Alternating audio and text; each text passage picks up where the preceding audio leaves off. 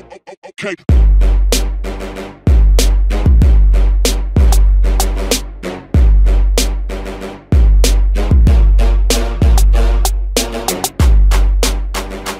Здравствуйте, меня зовут Федор Васильев. Приветствую вас в 20 уроке видеокурса «Уникальные виджеты Adobe Muse».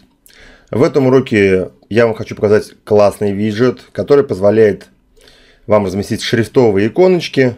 Не обязательно должны быть социальные сети. Также виджеты настраиваются размер. А самое главное, есть три варианта эффекта при наведении мыши. Например, один из эффектов,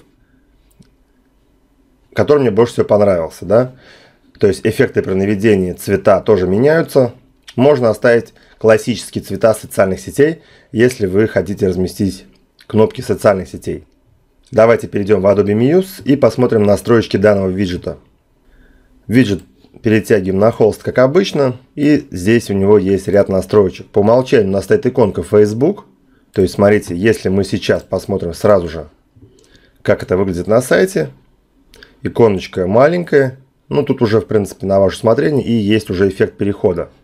Первое, с чем нам нужно определиться, какая иконка здесь будет. Мы с вами уже несколько раз затрагивали такую тему шрифтовых иконок. Здесь аналогичная ситуация. Иконки здесь берутся, то есть переменные иконки, они берутся с одного и того же сервиса. Вот здесь вот выше Icon Settings. Это ссылка, мы кликаем по, ним, по ней, и нас перебрасывает на адрес иконок.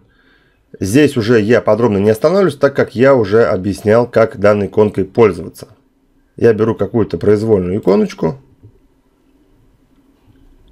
Берем, значит, название иконочки, как обычно. И в это поле вставляем ее. Вот видно, иконка торта у нас встала. Ниже поле URL. Стираете решетку и вставляете какой-то свой адрес. Icon Size. Вот здесь есть список это размер иконки. То есть сейчас стоит самый маленький. Выше чуть побольше, медиум еще больше и верхняя самая большая. Давайте возьмем вот медиум. Идет подгрузка виджета. И иконка, вы видите, увеличивается. Далее, Hover Type это у нас анимационный эффект при наведении мыши. То есть первый эффект стандарт, вы сейчас видели, как он работает.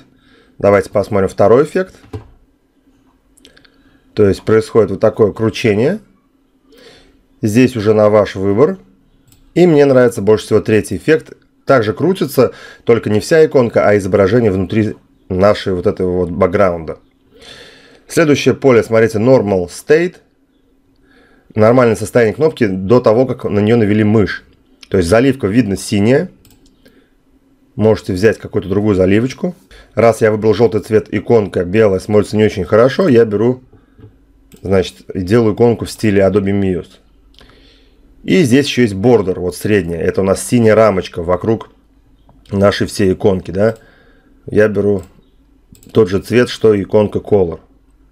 Вот нормальное состояние. У нас сейчас иконка выглядит здесь такая, ее видно. И нижние последние настройки это Hover, это при наведении мыши. То есть как изменяться иконочки.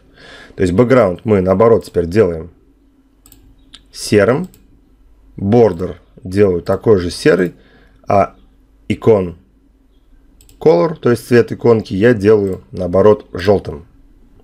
И давайте посмотрим в браузере.